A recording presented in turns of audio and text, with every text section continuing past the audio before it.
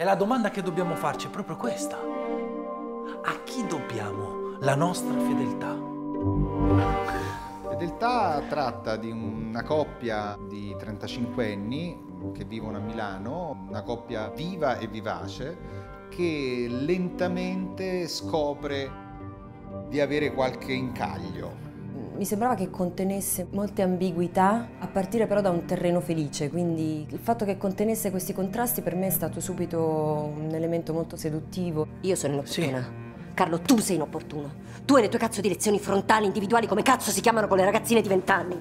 Il tema della fedeltà, il tema dell'amore, il tema della vita di coppia rende questa storia universale. Un tema che ti offre mille possibilità di lettura, mille chiavi di lettura e noi abbiamo optato per quella usata nel romanzo di Missiroli. La serie è adattata da un romanzo di Marco Missiroli e alla lettura di Fedeltà ho detto, ah ecco, finalmente è possibile creare un racconto seriale avvincente. Il romanzo era molto attento a raccontare l'interiorità dei personaggi, il linguaggio di sceneggiatura invece è tutt'altro, deve portare fuori le azioni e le, e le, emozioni dei personaggi. Perché tutta la serie ha a che fare con sentimenti, umori, insoddisfazioni e felicità che montano un po' alla volta, che non sono immediatamente manifeste. La serie vuole mettere sotto una lente di ingrandimento quelle che sono le dinamiche di coppia, di una coppia moderna che vive in una grande metropoli metropoli europea.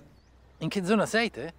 Milano ovviamente gioca un ruolo fondamentale perché a Milano c'è un tipo di tessuto sociale che è anche molto internazionale rispetto ad altre città italiane, è una città dinamica. Offre degli scorci moderni in contrapposizione anche alla sua storia, quindi c'è un, un forte contrasto tra antico e moderno. È interessante come i personaggi abbiano un'arena difficile perché è una città che richiede molto a chi ci vive, che si muove veloce. Le location sono state tutte bellissime, da Parco Sempione a Terrazza Martini, ecco Terrazza Martini Martini è stata quella che mi ha colpito di più. Una delle location che mi sono piaciute di più è stato il Barbasso.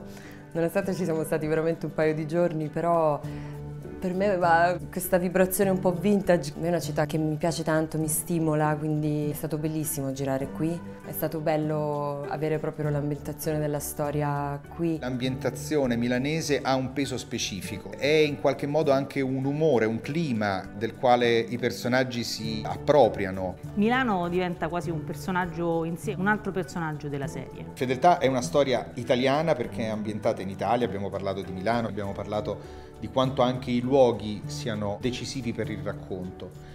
Però ciò che racconta è qualcosa che appartiene a qualsiasi latitudine della Terra, con una modalità di rappresentazione che però non è folcloristica, non appartiene esclusivamente a queste latitudini. Sono italiani, lo sono fino in fondo, ma hanno un respiro assolutamente internazionale.